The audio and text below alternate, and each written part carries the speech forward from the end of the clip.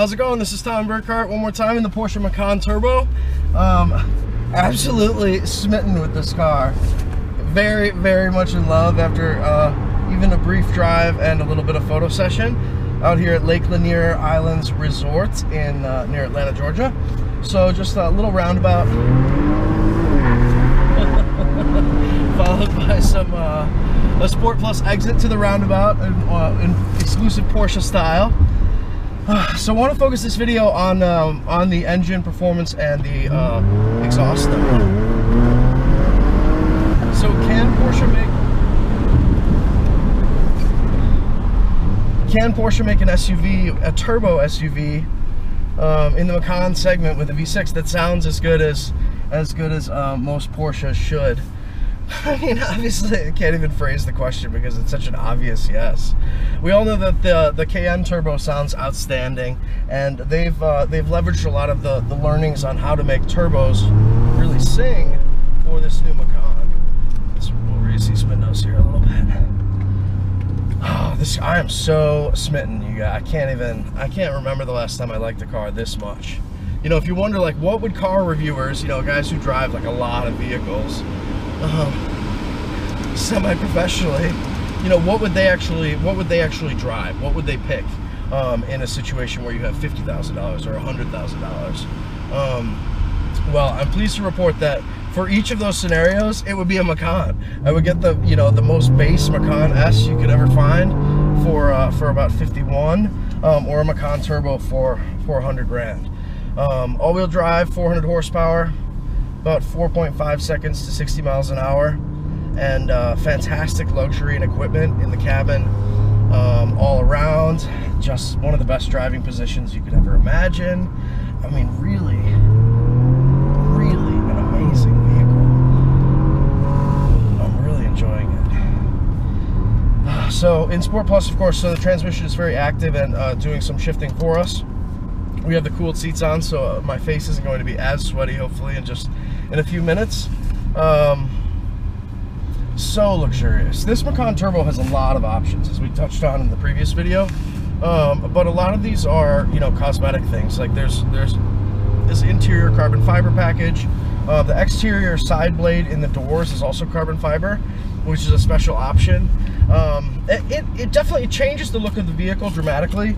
It makes it look lower and more hot hatch-esque, but um, I would ditch it. I would not go for that particular option. I prefer it with um, the painted side blade. It's like this, you know, a, piece in the doors, uh, in the door shaping, sort of like where like a rub strip would be on a, on a non-Porsche. Now, got a camera flopping around here a little bit. okay, so loving the Macan, really have been like a huge cheerleader of this vehicle um, since it was first launched.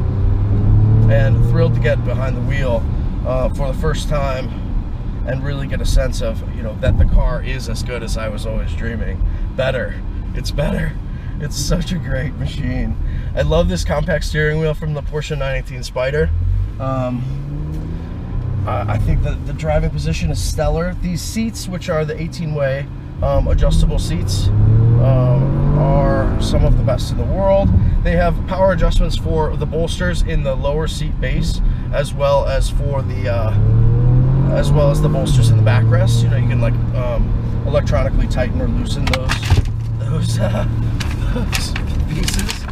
This car, I mean, as, as evidence, as my camera flying around is evidence of, the Macan can really hang on. it feels amazingly sporty. Um, we can feel the torque vectoring rear end really extremely active um, in Sport Plus especially.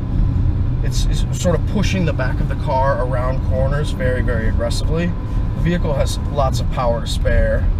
Um, I haven't been able to do like an exhaust note sample from behind the car. From in the car,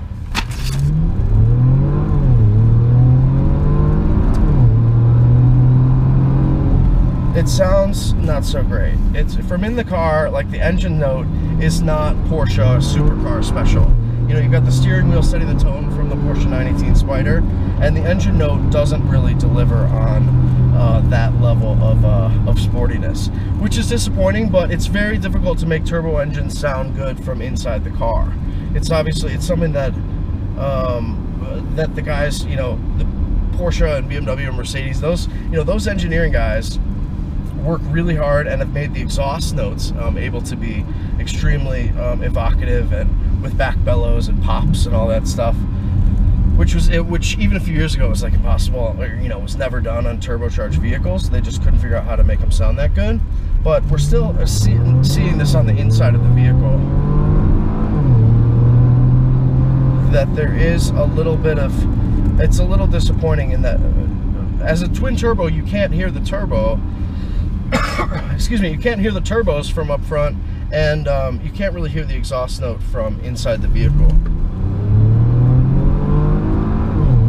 we're in Sport Plus I don't see any active exhaust buttons here um, we'll include in the review whether that's an option on the factory Macan it, it may well not be. They might be saving that for a special Macan Turbo S or perhaps a GTS in the future.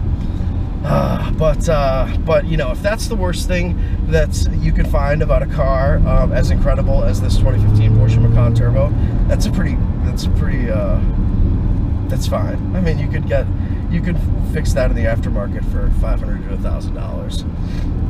So not a big dent in the Macan at all, um, especially for an SUV that may that may or may not be the sportiest SUV really ever made.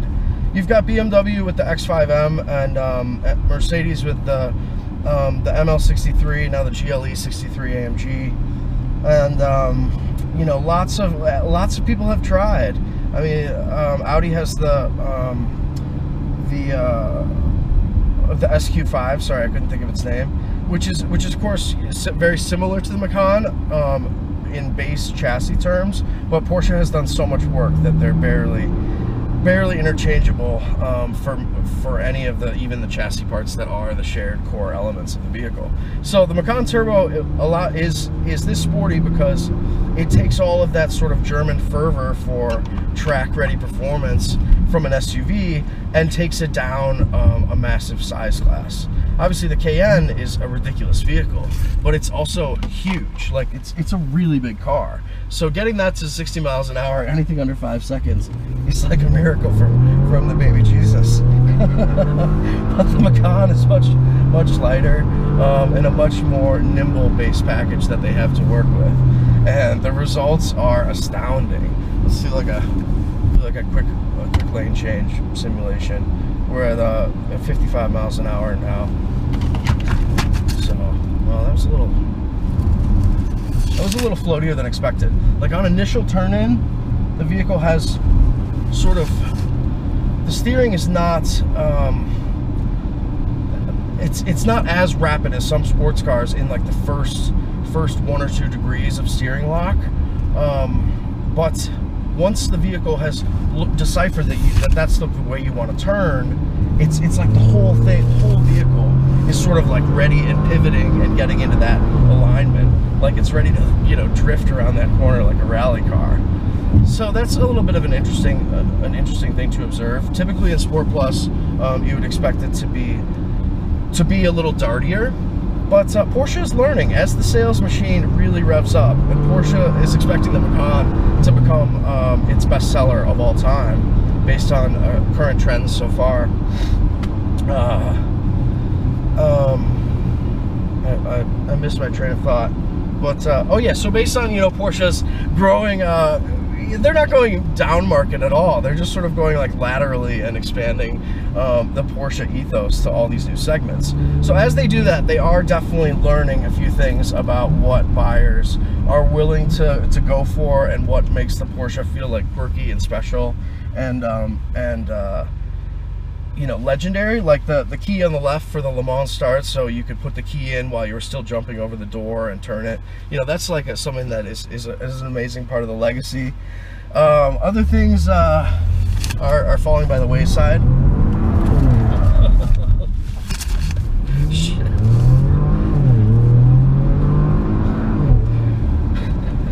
So that was obviously not on purpose. Um, other things are falling by the wayside, including like that they have a central central uh, like on the Panamera, the lock button is in the center of the dash, uh, as the Germans are uh, have generally preferred.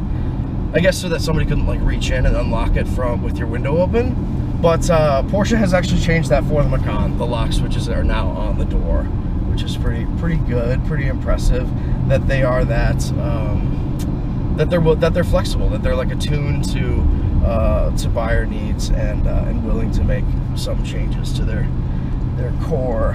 Um, so that, that was pretty intense. That U-turn, I mean, the, the Macan just like, just flipped around. It just, uh, it shows that there's an unbelievable amount of power coming from this 3.6 liter twin turbocharged engine and also how much of that power is uh, is stuck to the back wheels right away um, versus uh, the Q5 as the basis obviously that torque split is going to be 50-50 uh, uh, or 40-60 at best Whereas Porsche has, uh, in Sport Plus mode at least, made the Macan feel as though it were a traditional rear drive vehicle that has um, the added capability of all-wheel drive. So that's uh, just a level of like master tuning and um, precision precision setup of the way the all-wheel drive system works and uh, and how it can be applied for you know ultimate sportiness.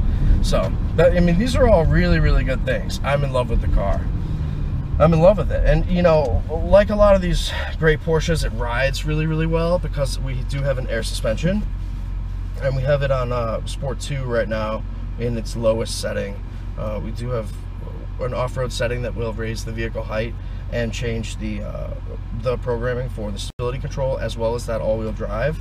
And uh, hill descent control, lots of other good stuff. Talking my face off, Porsche Macan, dream truck an amazing vehicle. Um, this vehicle, it, it, like I said, comes in at, at 104, which is pretty pricey, but uh, has you know every I think every option in the book. So uh, it's it's well worth it. It's like a GTR for people who need uh, who need you know to be able to have ground clearance and a back seat or trunk for dogs. All right, we'll see you guys later. This is Tom Burkart in the Porsche Macan Turbo. See ya.